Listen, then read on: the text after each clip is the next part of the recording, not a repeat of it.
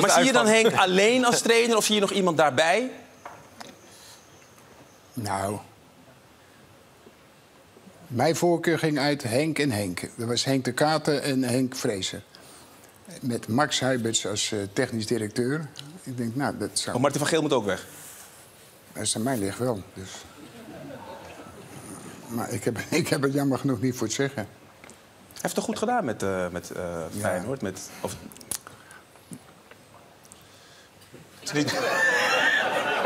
hij kan precies als mijn vrouw kijken. nou, hij kijkt als mijn moeder.